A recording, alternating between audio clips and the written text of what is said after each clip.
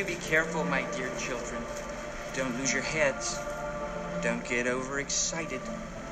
Just keep very calm.